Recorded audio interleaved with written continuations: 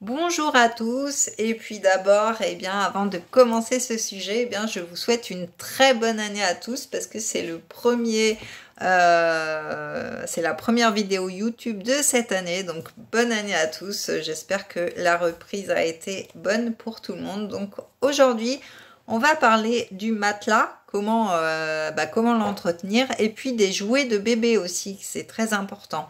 Donc le matelas, eh bien, il veille sur nos nuits, donc nous, on va veiller sur lui aussi. Donc un matelas euh, bichonné, eh bien, ça va être un matelas préservé de l'humidité. Donc bien au sec, il n'intéressera pas ni les moisissures, ni les acariens. Et pour nous, eh bien, les risques d'allergie s'envolent. Donc au moment de changer les draps, eh bien le mieux c'est de laisser le matelas euh, respirer une heure avant de le parer à nouveau. Donc les chanceux eh bien, pourront exposer leur matelas au soleil pendant une heure pour qu'ils profitent pleinement des propriétés germicides du soleil. Donc ça c'est pour ceux qui ont du soleil chez eux. Ici c'est pas trop le cas.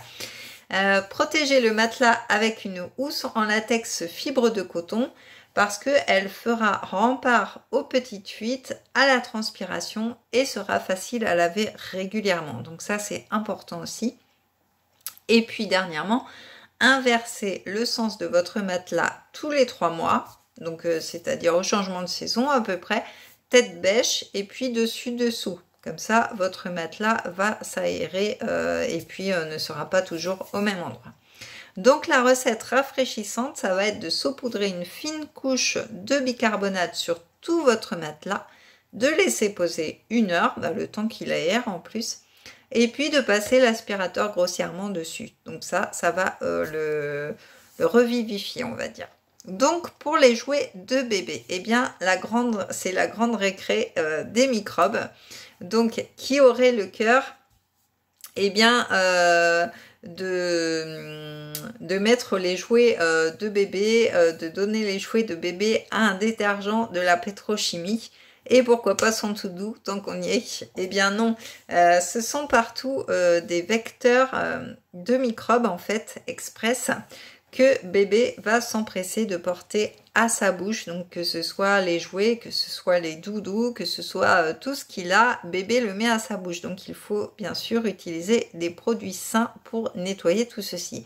Alors pas d'eau de javel parce qu'elle est très irritante pour la peau de bébé et puis bah comme je viens de vous le dire comme il les met à la bouche c'est pas très très bon. Et si vous tenez à une vraie désinfection, eh bien pensez euh, aux, pastilles, vous savez, de stérilisation à froid qu'on utilise euh, pour les biberons. Donc voilà, ça c'est une petite astuce. Les doudous et les peluches euh, peuvent être lavés régulièrement, donc il faut les protéger dans une thé d'oreiller par exemple ou dans un petit sac, ça se fait beaucoup.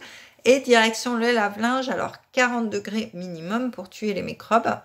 Et puis surtout, il faut un séchage ultra rapide qui est recommandé afin euh, d'éviter le développement des bactéries. Donc si vous avez un sèche-linge, ben, c'est l'idéal.